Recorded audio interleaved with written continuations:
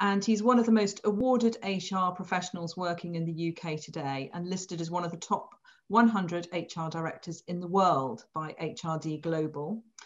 In January, David was made a chartered companion of the uh, Chartered Institute of Personnel and Development. So I, and I know he's really proud of that as well as he should be because it's such a rare accolade to be given. He's also in, in the in the in the mass of his many awards, HR Director of the Year, and he was awarded that um, by the Personnel Today Awards in November when we were made uh, Employment Law Firm of the Year. So it's yet another link in our long relationship.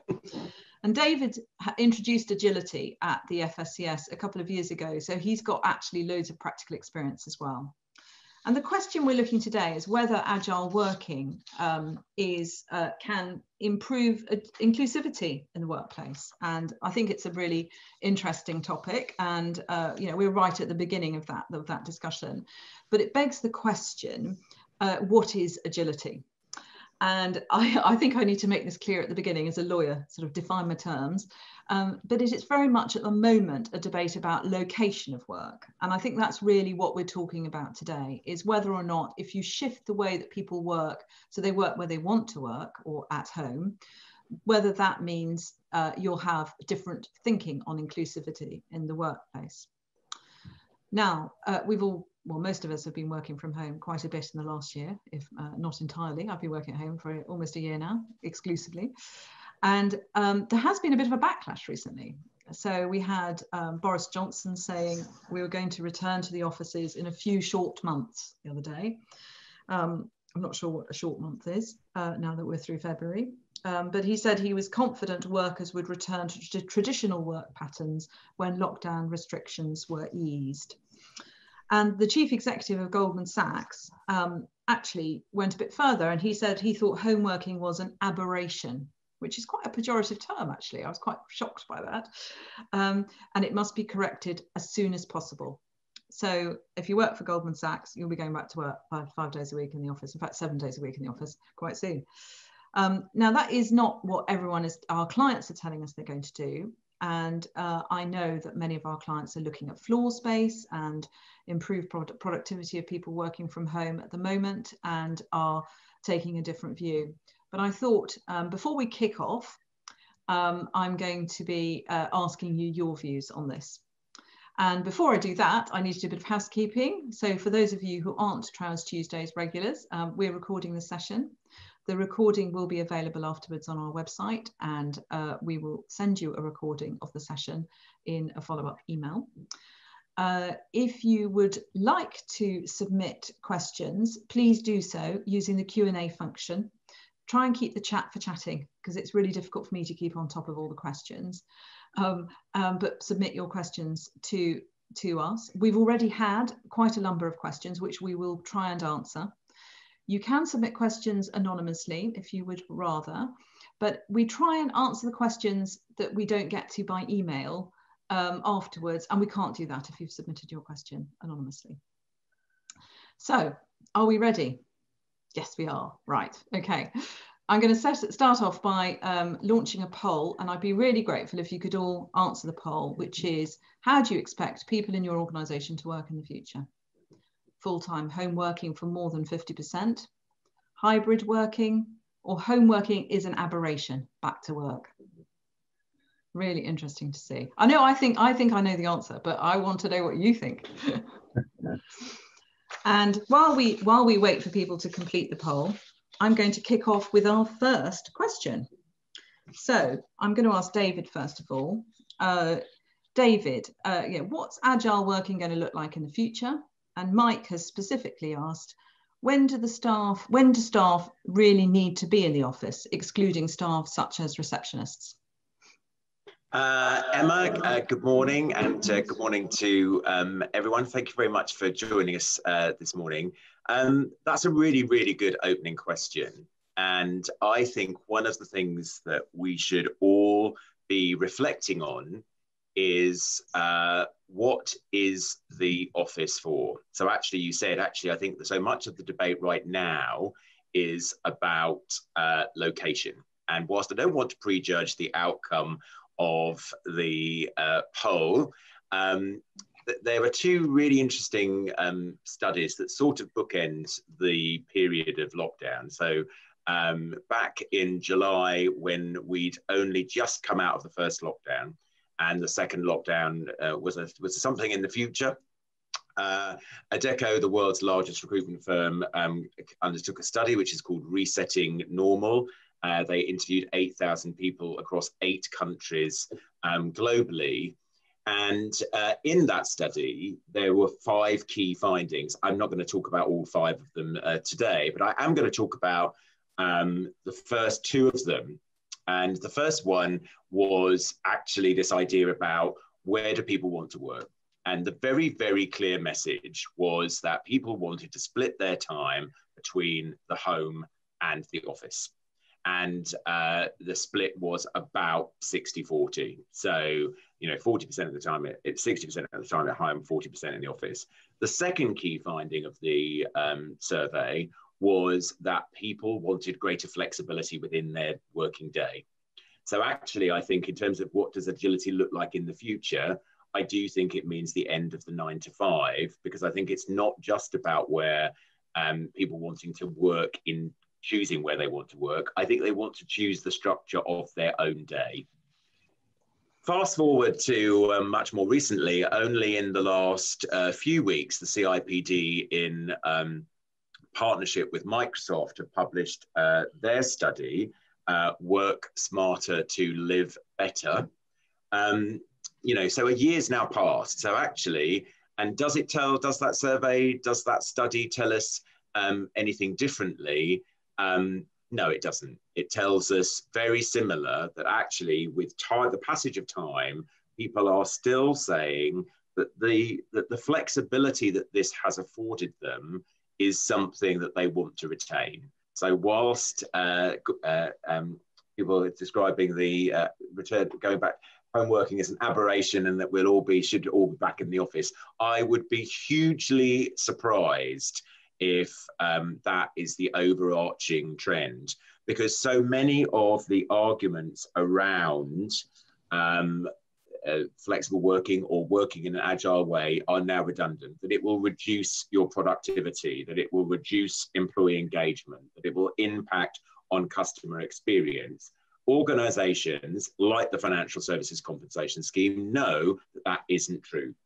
So, you know, we know that actually we're delivering a better service with high levels of engagement and we have maintained our productivity. So the argument that says agility doesn't work um, uh, I personally feel quite strongly that all the data says uh, that argument is um, redundant.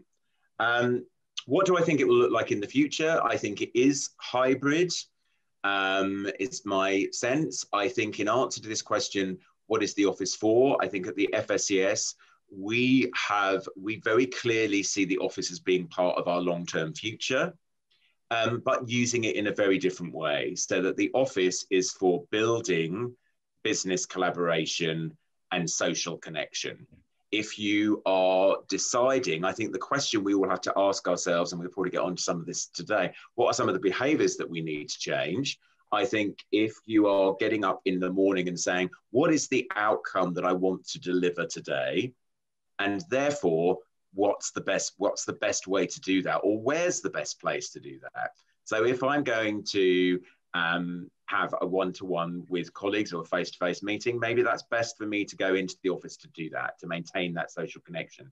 Maybe i want to bring my team who will be meeting in a, in a hybrid basis most of the time together once a month to have a brainstorming session or to do something that's creative so i do think that um, that that is what I, I think the future is. We asked our uh, colleagues last summer um, you know, to um, when do staff really need to be in the office, to Mike's question.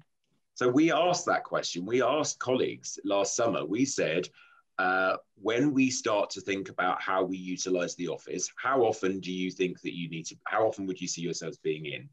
And they said um, one to two days, actually. And they said once the anxiety around um, the vaccination, so actually we'd probably see that being more like two to three days when actually we were further forward in our journey. And we already had a flexible working principle that said you will spend a reasonable amount of time in the office. So our evolution of that, our, our sort of agile evolution based on the feedback of our colleagues was what we call our 40-40 rule. So we say, on average, we'll expect 40% of our people to be in the office on any given day 40% of the time. So, you know, that's, you know, so we want to give people a sort of framework. Equally, we don't want to give people a sort of straitjacket that says it must be these things. We're saying, actually, within your teams, we think a good set of principles is this idea about being in the office about on average 40% of the time, which was really well um, received um, I see that Mike in his question talks very specifically about receptionists. Um, we've already taken the decision that we don't need receptionists. That actually, on the basis that the organ that we will have fewer um, public visitors to the building, um, actually we can redistribute those tasks amongst other colleagues in the. So it has had an impact in that way. But again, I think uh, I'd close my thing by saying the real key question I think is for all of us to think about what are we using our office environment for? That's fantastic, David. What a great start. So uh, I'm now going to close the poll and share the and share the results. And Paul, I'm, uh, you know, David's talked about he reckons the future for the FSCS is is hybrid working. So um, do you? Does everybody who's logged in think the same way? And the answer is you do. Overwhelmingly, 95% are moving to hybrid working. Um, so Goldman Sachs is clearly not on the call. So Paul, what's your view of that? Is that what you were expecting?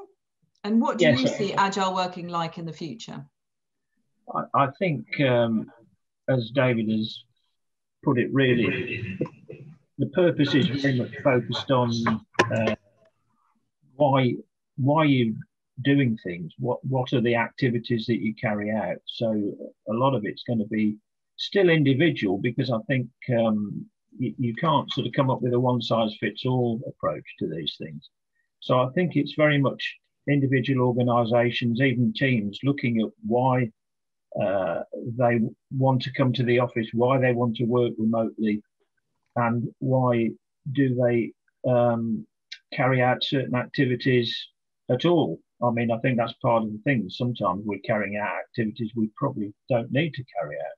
So I think it's very much looking at purpose, it's very much looking at work activities and looking at the practicalities around the capabilities of the team and the digital environment that we live in, because a lot of this is all enabled, uh, certainly working remotely, is about our digital capabilities and how we use them.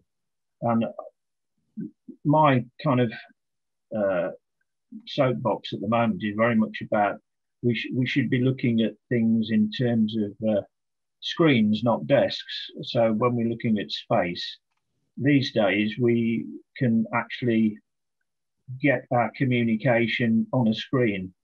Um, it's not really on a desk. The thing that we use might be, possibly be on a desk, but it could just as equally be in a briefcase or elsewhere.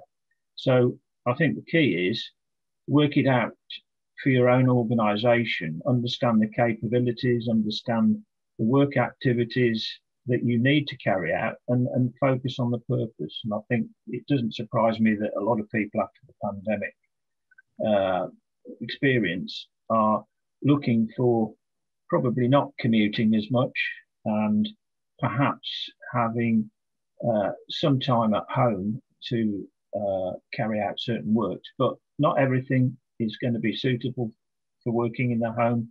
So work it out for yourself. Great, thank you, Paul. And uh, we've had a few questions in. So Judy says, if the workplace becomes a place where people visit less often and work from home more, how can firms ensure a sense of belonging physically and culturally to the firm they're employed by?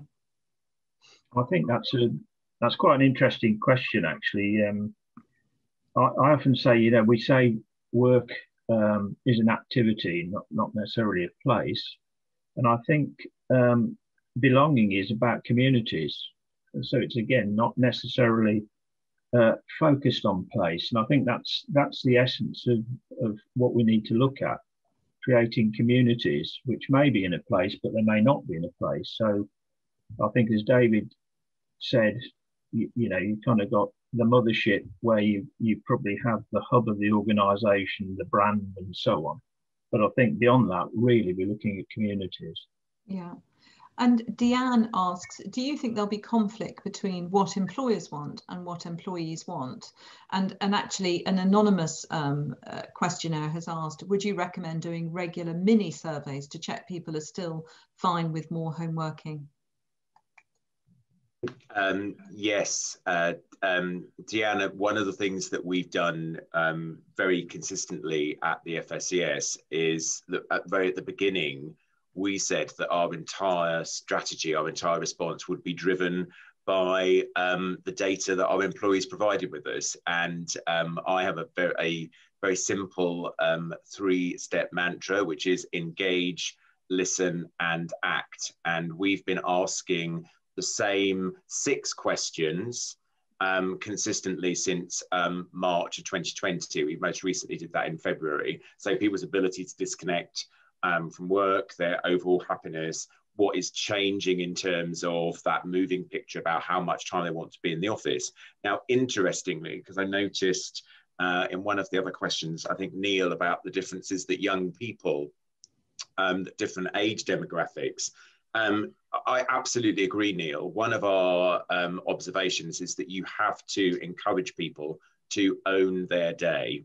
Now, what we know is that you're right. Younger colleagues will want to be in the office. Will want to be in the office more, which is why we've equally said, if you want to be in the office five days a week, you can be in the office five days a week. You know, we're not saying it's this. I think Paul makes a really important point about it is not one size um, fits all. So, um, do I think that there's? I think that you know, I guess that tension between employers and employees you don't always have to um, completely agree with what the you know some of the stuff that you know we were asked the question give you a really specific example can i permanently work from home? Is a question that we were asked last year and we've taken an organizational view that no you can't. And we and we set out all the reasons why. And for the reasons that we said we think that the cultural connection to the organization is really really important now, that 40%, you might decide that in a month, you come in for 10 days all in one big block and do all of the stuff that you need to do and then if you, you know, we're giving people the flexibility to do that. But actually, we said, no, we don't think full time home working is right for us as an employer. So I think there is, I think it's really important, but I think unless you engage with people and ask them, I don't think you I mean you won't know. You'll just be creating a strategy that's on the basis of no feedback, which um, I think what they're doing at Goldman Sachs. And um, and before I um, think, can I just quickly share something with? Uh, I saw that Lee Sukas talks about carers and key workers. Lee, this this this pop this um, resonates with me. My husband uh, Lawrence uh, works for a social uh, care provider, um, so uh, I, I know all about that. Um, there's some really interesting, a person who would be a good person to connect with um, on um, LinkedIn is a lady called Jane Galloway. If you're interested, Jane Galloway is running the, is leads on the introduction of flexible working across the NHS for NHS employers. And they're doing some really, really interesting um, work. I was at a talk a few months ago that Jane spoke at. And um, so, because it is, you're absolutely right. It's a different, some different challenges there, but I wanted to share that. Jane Galloway is the uh, is the person. Okay, and then uh, Nicola, on to you. Claire has asked, um, please can we discuss contracts and whether there needs to be a change? And Mike has asked a question this morning about the liability on employers to provide home office setup um, if you're giving, you know, you're giving the option of agile working for requiring people to work from home. Want to go through the legals? Yeah, absolutely. No problem. Oh, good morning, everybody. Um, yes, on the question of contracts, um, first of all, yeah, most likely, yes, this is going to need an update to your contracts on the question of where people work and when they're required to come into the office. Of course, the big factor is that whatever your contracts currently say are probably not how people have been working for the last year. So you're not starting from kind of zero when it comes to looking at what's um, what the current position is. Um, but yeah, absolutely. If um, if your current if your contracts currently say you know you will be based at X office location Monday to Friday, nine to five, or you know thirty six hours a week or whatever it is, that clearly is not going to be the case um, for uh, you know for introducing a hybrid or agile way of working going forward. Um, so yes, changes to contracts are likely and changes to policies as well.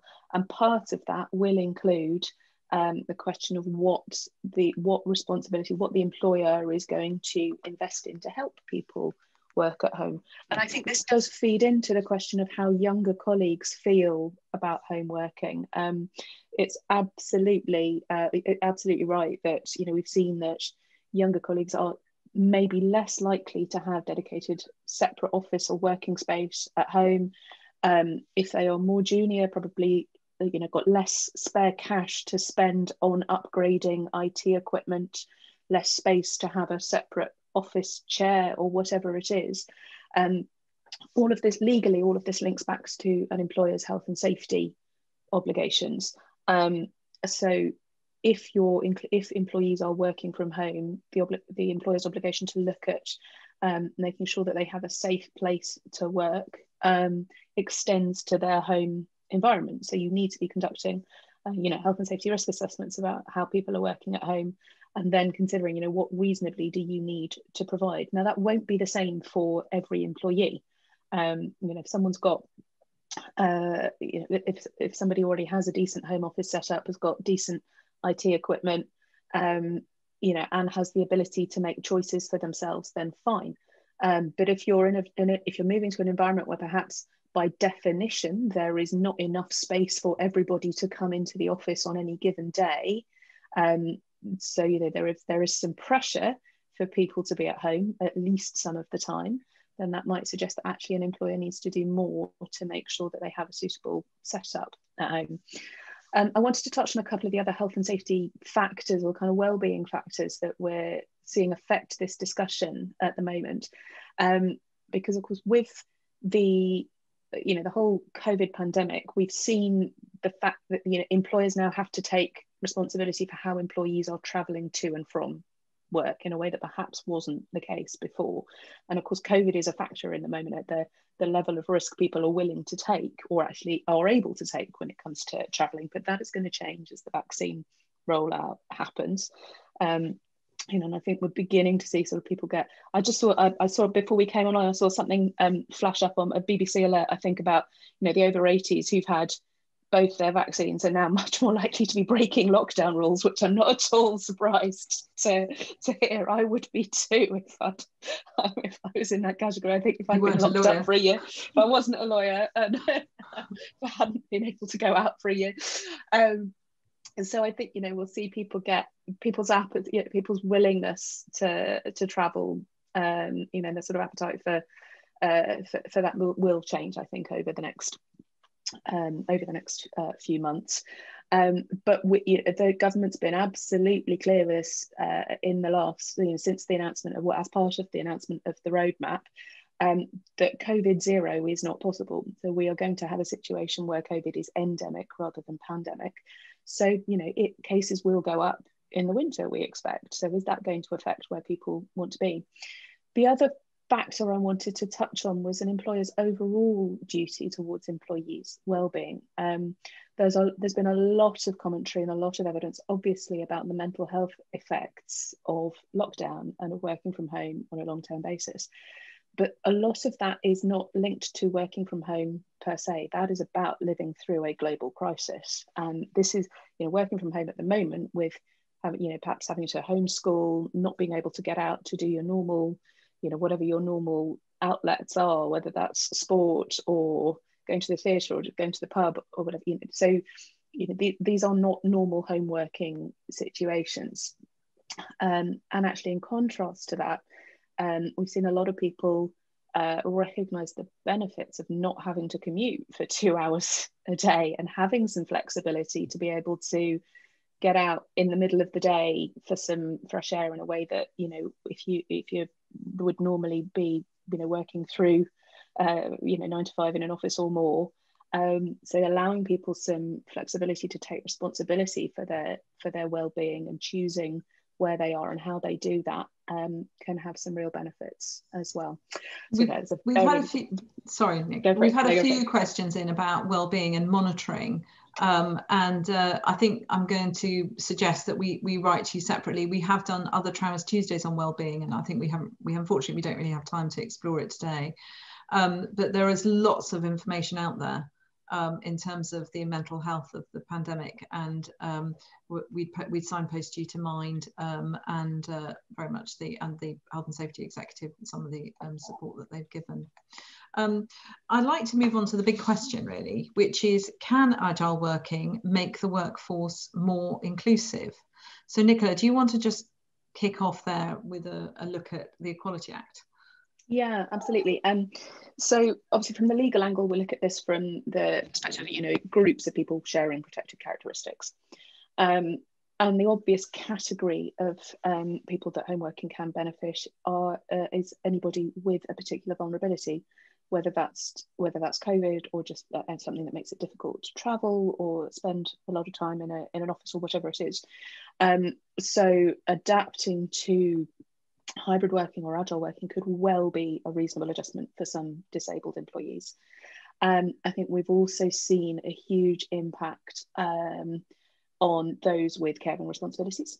Um, like parents or those with older relatives um, who they who they have responsibilities for.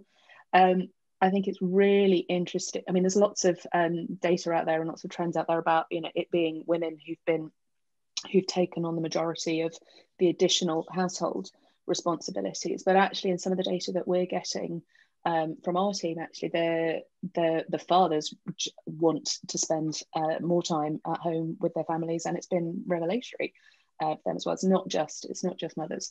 Um, so I think there's some, you know, some real interesting things there. As we've touched on, there, of course, but typically younger people want more time in the office, want more time uh, with social contacts, and and of course they they're likely to want more time. One of the issues that we've seen is about supervision time and that kind of on the job osmosis learning that you do by just by being in the room with uh, different people in your team when you're when you're new to a role or new to an organisation. So I think those are some of the factors that we'd need to need to be considering. But absolutely, I think there's real potential for um, agile working to make the workplace more inclusive. Definitely.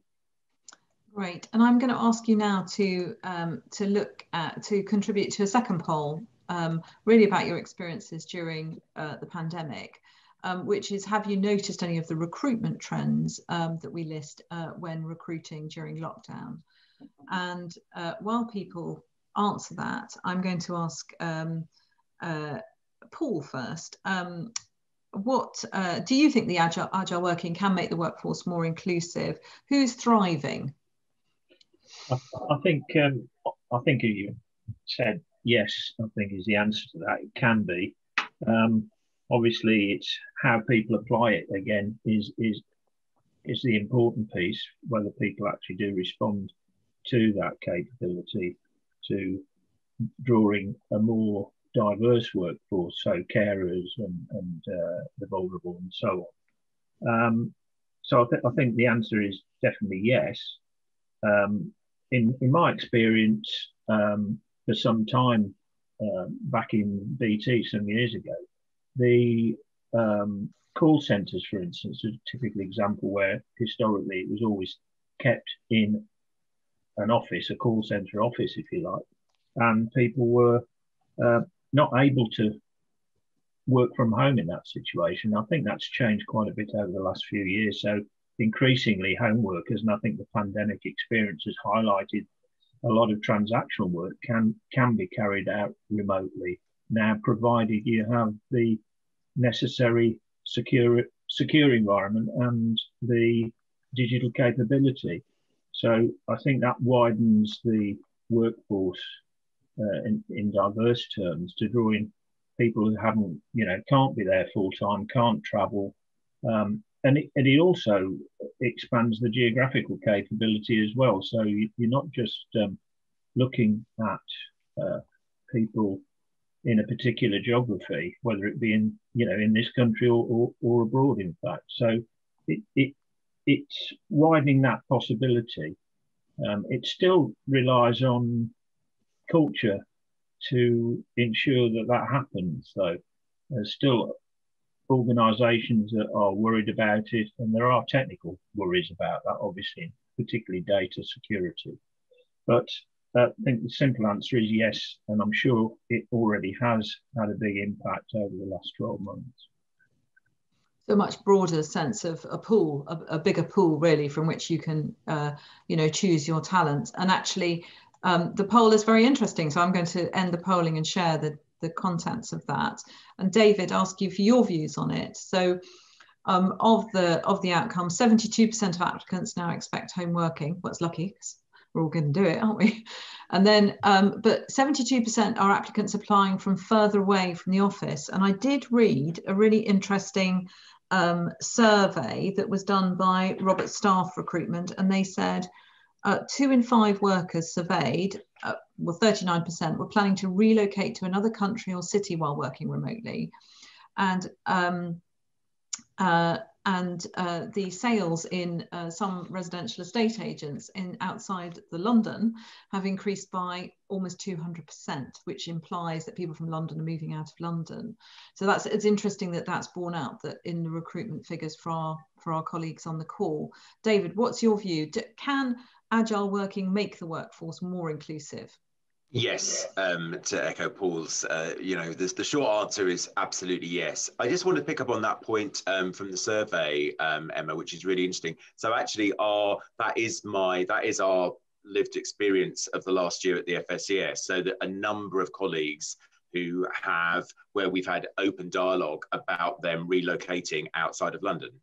Yeah. So them saying actually, and it picks up on one of the earlier points around often this has been um, you know younger colleagues uh, who might be you know newly engaged or newly cohabiting or newly married um, and saying actually I can as opposed to fighting over who gets the one desk and whose turn it is to put the laptop on the ironing board um, I can sell my one bedroom flat and I can go have a very, rather nice house, you know, outside of the M25 with a garden. And so, you know, we've now got colleagues who've relocated, you know, back to the Midlands, to Yorkshire, um, to Liverpool, and also to Paul's point, it does re- widen your recruitment pool. We've recre- recently recruited um, a head of function who is based in Leeds.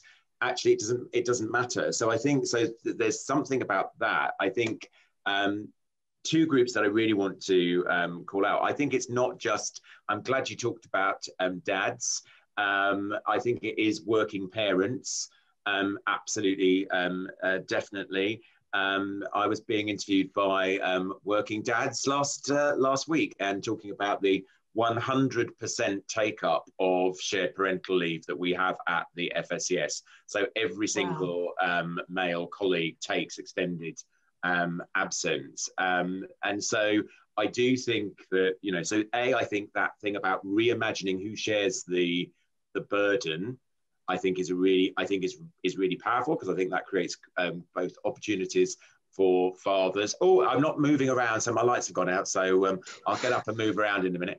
Uh, I now look slightly ghoulish, so apologies for that, ladies and gentlemen. Um, I think there is a really interesting, um, I think you're right about um, disability and caring responsibilities. And again, we've seen that. So things that would potentially have excluded people in the past or not necessarily have excluded them actually. What I think the trend is, is people engaging with the recruitment process. Because I think very often actually they wouldn't have even put themselves forward. So, you know, they wouldn't actually have thought about applying because they'd have gone, well, you know, I won't apply because the chances of me getting shortlisted, I will be knocked out because of all of these other factors. So that I think is really interesting. Um, you know, I think that is, and I think we are f- seeing that in terms of the types of applicants, the number of applicants um, for, in our recruitment process. Really interesting. Now, we had a couple of questions um, about people working from ab abroad, and that does give you unintended legal consequences that you need to consider quite carefully. We haven't really got time to consider it yet on this call. Um, but it's really interesting that what you're saying, David and Paul, is that you know more opportunities for working parents for people who would otherwise have been excluded, or, and uh, in, in, particular um, disabled applicants. So there are some plus points clearly that we're already seeing, which mean that uh, it is potentially more inclusive. We've had a few questions in about uh, the experience of um, how, from Charlotte, how does agile working impact on EDI activity in the office, I think. You know, David, I don't know if you can answer that question. So I think um, how it impacts, I think um, I'll give you, I always like to give really specific examples. I think one of the learnings from um, last year's um, Black Lives Matters conversation, um, and I think this, I'm going to give you sort of trying to answer two themes in some of these questions. So one of these things around culture and connection and how you um, is it's about using i think as paul said it's about really utilizing the technology that we have available to us and not using it in um, trying to use it in innovative ways. So, you know, in relation to um, the EDI question specifically, what we learned from um, Black Lives Matters last year was that we needed to create a space organizationally for our colleagues to have open and honest conversations and we couldn't do that face to face. So actually, how you do that is that you use the technology to do that. So rather, so actually saying, so our chief operating officer said, I'm going, we're going to have a session. It's going to be two hours. There is no particular agenda. I'm inviting my black colleagues uh, to share um, their stories, and it was colleague led. So what came out of that was actually a, a desire by um, black colleagues to continue those that conversation and all we were actually doing as an employer was, uh, was using the technology. So what we were providing was the technology and the channel for that communication to happen. And I think in the same way, culturally, you have to try and create those spaces that we have lost through lockdown. So the water cooler moments, the coffee breaks, those very, you know, the chats that you have in the breakout area when you're putting your lunch in the microwave. So all of those things we've recreated virtually. So it doesn't have to be a meeting that has an agenda. So our CEO, Caroline Rainbird, has a organizes a has a does her coffee um, and catch ups virtually, and anyone can turn up and they don't have an agenda and there's an opportunity to have a chat. We created a space for our managers um, to do that. And I know that lots of our teams have done that. So actually, rather than saying we're meeting for a reason or we're meeting because there is an agenda item or there's something for us to discuss, why, or indeed, you know, Zoom quizzes, and, and after work drinks and all of that sort of stuff that we've all done. Actually, let's just try and recreate some of that space for us just to talk, just to talk. And I think um, what was really interesting, I think, is that you know, from an equality and diversity perspective, that you know the Black Lives Matters, what came out of that was a series of recommendations from our black colleagues that they then came and presented to the executive team.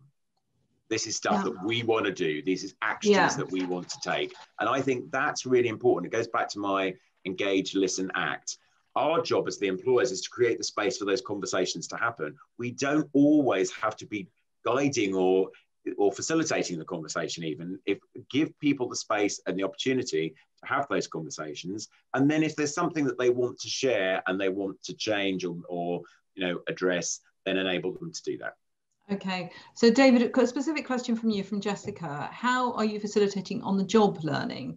For example, we'd love to have more apprentices for our office type roles, but managers are unsure of how we impart those key skills onto more junior employees. Uh, really good um, question. I think that um, we, uh, everyone is given a uh, buddy when they become, so as part of it, so I think we've really thought looking at the whole, um, re-looking at our onboarding process and what that involves.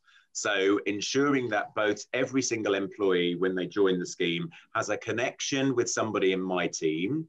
So somebody that they know that they can come to and go, oh, I'm not sure who to ask. Can you point me in the right direction? Um, that they have a buddy within their technical space. So actually someone who is assigned to help them, um, support them. And then also um, through our technical training manager um, and our technical training business partner, understanding what is where that what the skills are in relation to our skills matrix. I could go on about all this stuff. Um, you know, that allows them to say these are the fundamental skills. So if you work in a technical claim space, there is a route to become accredited, for example. But it's a really good question. And um, what it's made us, you're right, we've had to think about we've always had a very, very clear pathway to do that in technical areas.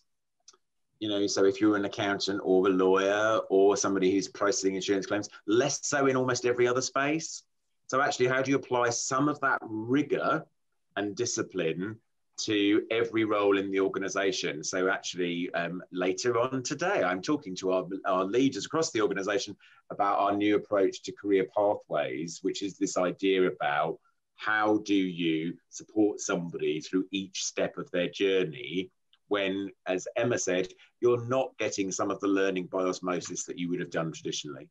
Yeah, and it's something that we at Trowers are looking at really carefully. So, in fact, what we've done is roll out um, similar sort of buddy system to people who are joining new. We've got two new employment lawyers starting actually this month, and we we've you know assigned them buddies within the team.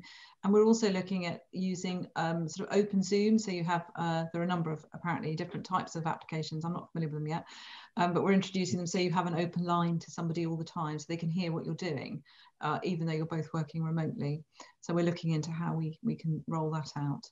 Now we've had a number of questions um, I'm going to put to you, Nicola. They're all related to the same thing, which is um, uh, uh, expenses, basically. If somebody's working from home, do you have to pay their home to office costs as part of your expenses policy? This is a very, good, it's a very good question. Um, and part of the answer is tax related, unfortunately. Um, so the, the the issue is so if you've got a, a, lot, of, yeah. So the question is about commuting space, commuting expenses, really. Um, and I'm sure you all know that ordinarily, uh, an employer doesn't cover the ordinary costs of somebody commuting. But if somebody is working from home on a full-time basis, then they they don't have an ordinary commute, or rather, they don't have expenses associated with their commute other than you know walking from the kitchen to their office or whatever whatever it is. Um, you know, so that wouldn't ordinarily be covered. But if there is a requirement to come into the office, say part of the time, then what you need is uh, to have a, a, distinction. You need to have a, a, record of what is the requirement to come into the office. Because if, if the requirement to come into the office one day a week or your 40 40 uh, requirement, you need to have that audited somewhere so that on that day they're commuting. But if they're if you haven't got that, if you're at home full time, um, you know, and it's just an ad hoc as and when, you know, you come to us, then that's then a business expense, um, which the employer can cover and is tax deductible. So you need real clarity on what your expectation is, what's contractually agreed with the employee, who decides when they're coming in and making sure that you're keeping a record of that because what you obviously what you don't want is to suddenly discover that you're covering the expense of somebody you know commuting from their holiday home in Barbados or wherever it is that they've been allowed to move to. Um, I mean, that'd be lovely, wouldn't it? I could dreaming of dreaming of summits on the beach at the moment. Um, so I don't. Uh, that's probably that's a very high level answer to what is actually quite a complicated question, but hopefully that gives the, the various uh, people asking the question an idea of the issues. Well, certainly we're doing lots and lots of um, advice on agility, including looking at expenses in a completely different way, especially because you may not want to pay from, you know, people's um, commute or expenses indeed for if they've shifted to the deepest, you know, deep countryside and you're based in you know a long way away. You won't want to you know expect to pay their expenses even if they're just commuting for real purpose for real business purposes.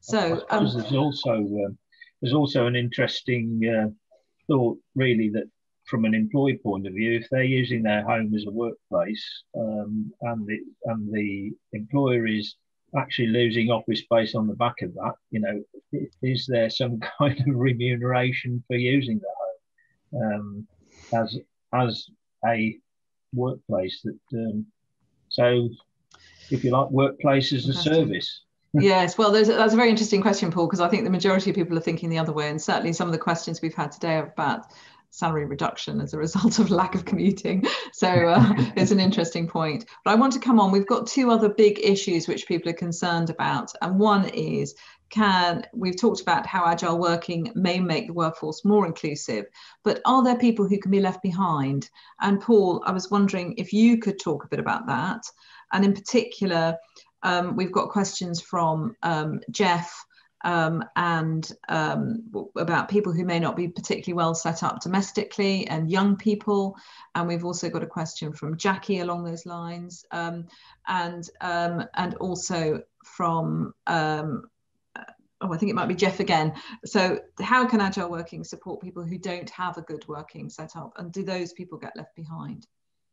I think if we're looking at agile working as you know focusing on remote working, because I mean agile working can be different things really in terms of how, how and where you work.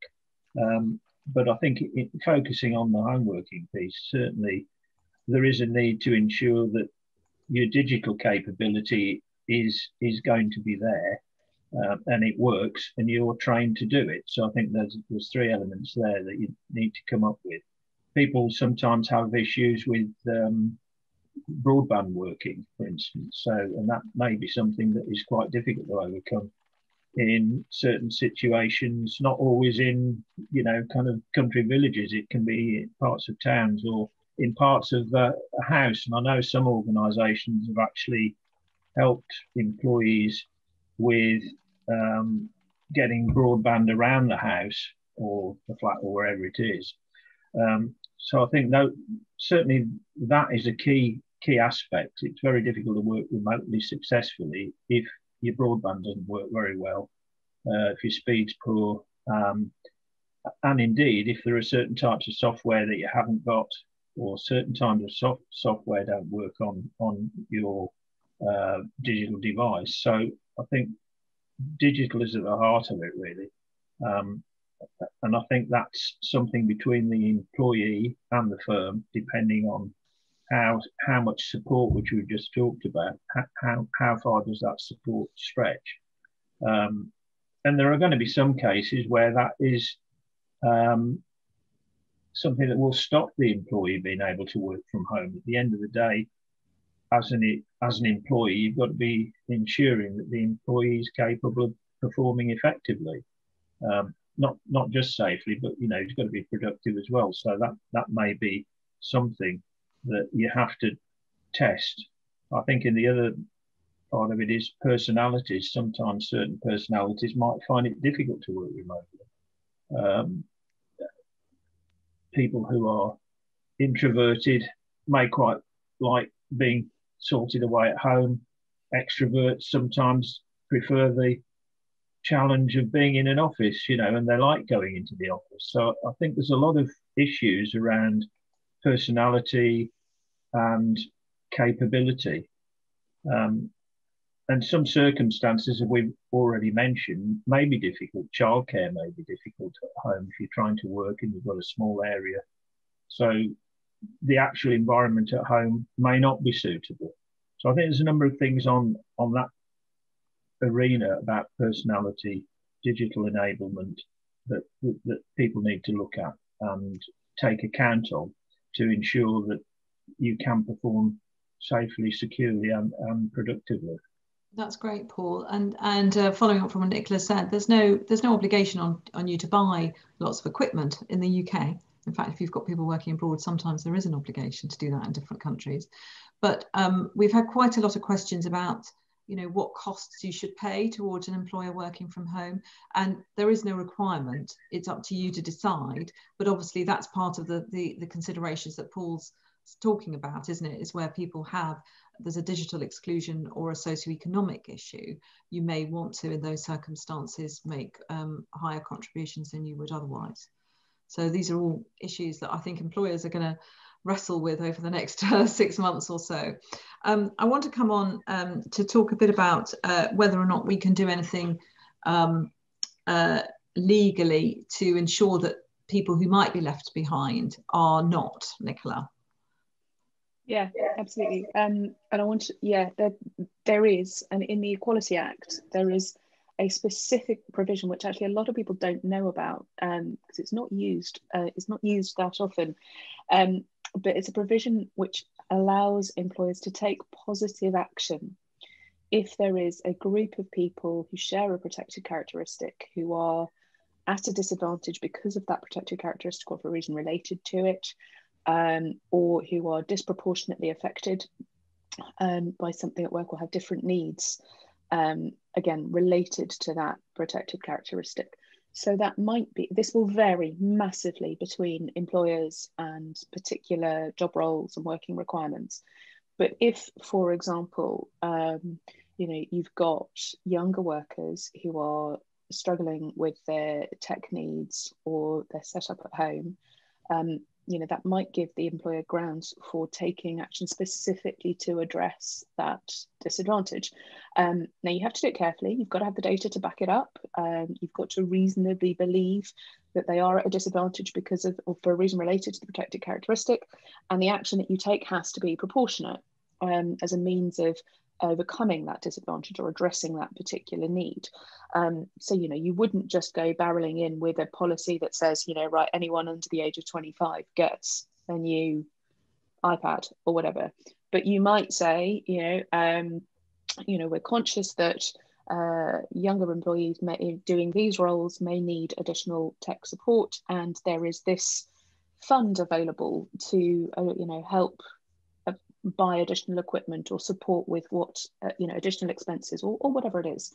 Um, and it might not you might not say it's limited to those under 25 or those under 30 you know you might say it's uh, you know it's it, it is targeted at younger workers but also those in these particular roles. Because you know you might you can't assume that anyone in a junior role is under the age of whatever it is. Uh, so you know you've got to you've got to balance balance it out and fact take into account all the relevant factors. Um, but I think actually that's something that's that's particularly important as we all kind of discover what the limits of um, you know agile working flexibility and what the impact is, and it's going to change. Um, you know what what is what is the position today is not going to be the same in six months. There's so much changing so fast, um, and people's expectations are changing. The, you know, the ability to travel is changing. People, vaccination status is changing. Um, so you know, but that that's something I think is really important that employers know is available to them. It's fantastic, actually. Thank you, Nicola. So positively, there is positive action that you can target. Now, I've got very few minutes left, so I'm going to ask you first of all to please complete our final poll on your own plans. Uh, we're interested to know what people are doing, and I think it'll be it'll be I'm sure enlightening to us all. So I'm asking you, what are you considering about your workplaces, bearing in mind that 95% of you are considering hybrid working. And we've got one further discussion point, um, which um, is born out of a number of conversations from Jackie, uh, from uh, uh, Sarah, um, from a couple of anonymous people, from Guy, and you're all concerned about a, tier, a two-tier workforce. So um, if you are introducing a degree of, of autonomy um, over flexible working patterns, is there an increased risk of, of inequality and fairness and claims arising from that?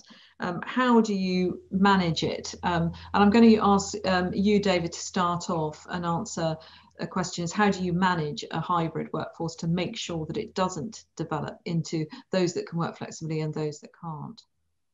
Um, so I think that so much of this is to do with the way the, the, the, the, you're right how do you manage it? So i think that this is a, a management and a leadership um, challenge.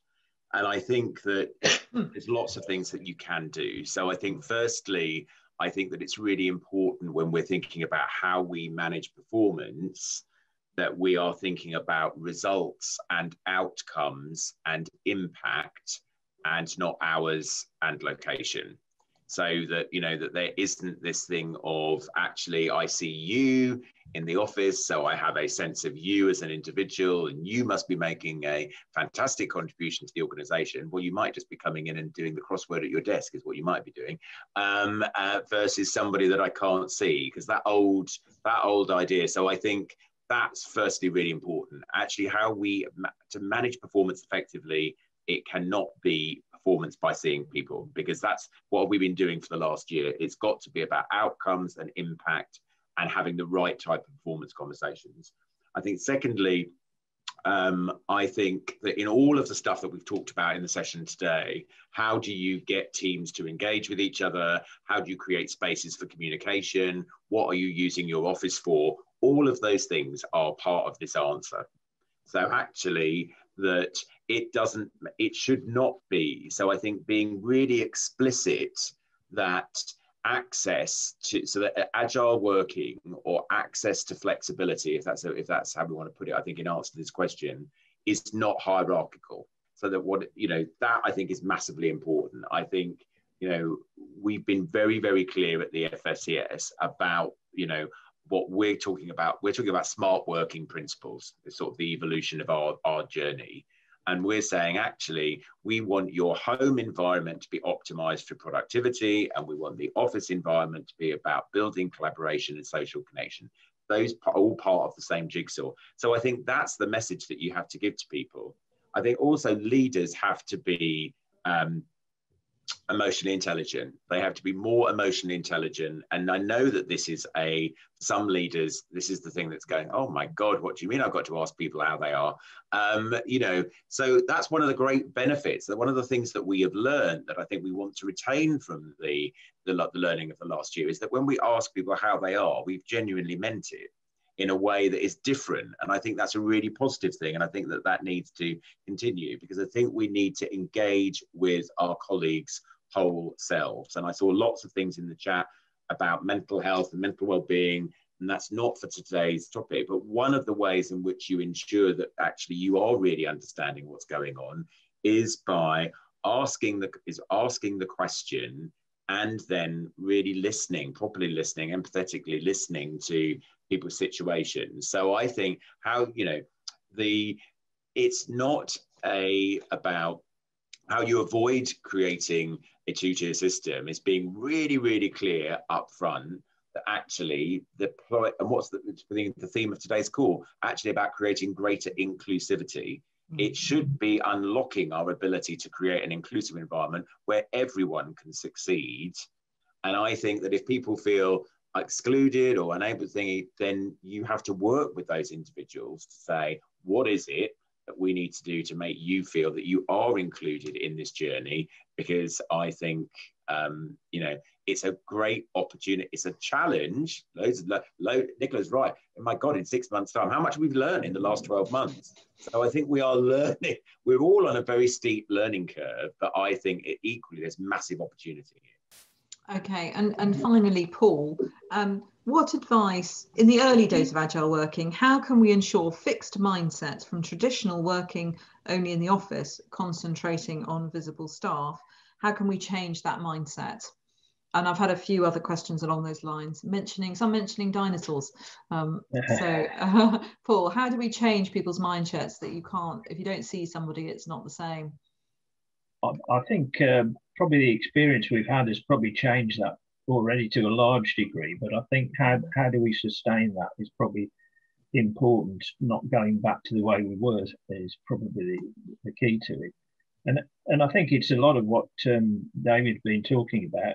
It's it's about actually giving people the knowledge and understanding. It's creating some um, opportunities to talk and engage with one another and to create the understanding. So I think it's being clear about what we're doing, why we're doing it, where we're aiming to go. So it's giving a path of, of all of those things as to people being given the knowledge, if you like, to do it, and then engaging and drawing in into it. So it's not being done to them, it's being done with them. So they understand clearly why.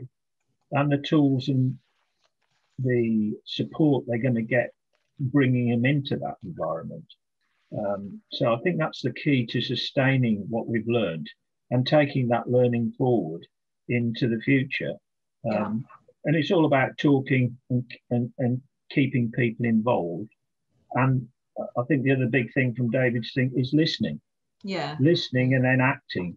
That's that's the key to it. Yeah. Well, that's extremely helpful. And thank you very much indeed, David, Paul, and Nicola, on all your wisdom and uh, sensible tips. I am very aware we have got a lot of answers to give you um, in the Q and A's. We haven't answered very as many as I would like to have answered questions, but I think in this session we've had something like 50 or 60 questions overall before and during the session. So I'm going to just share the results of the last poll, which you know explain what people are doing, which I think is interesting to us all. And what's actually very interesting is um, that nearly 50% of you are thinking of reducing your office space.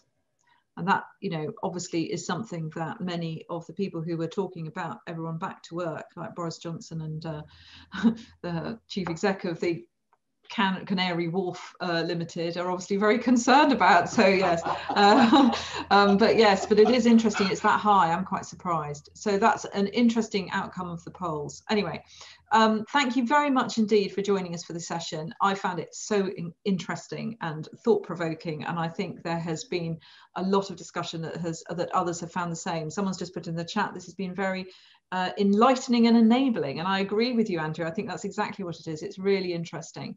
So um, we will be doing more sessions on um, agility. Uh, later in the year, so watch out for those. Um, and we will be sending you a copy of the um, uh, the recording of this session and a recording of our previous agility session, uh, which are available on our YouTube channel if you're if you have a YouTube account. I don't quite yet, but I'm sure others do. and then um, in addition to that, um, if you are interested in the format of these talks and you don't join us on Tuesdays for our regular Trowers Tuesdays talk, please do. We'll send you an invitation in case you would like to, um, because we do have these fantastic sessions and uh, that are as interesting and inclusive as this one. So, but finally, thank you very much indeed, again to the panelists, but to also to everyone who's logged in and um, uh, stay safe. Bye-bye. Thank you. Emma, can I just say one last thing? For yes. people who said that they wanted to, could I, would I share smart working principles and uh, my six questions? Yes, I'll send them to you, Emma, so Thank you. Uh, you can circulate them. I will, I will make sure we try and answer all of the questions. All right. Okay, bye.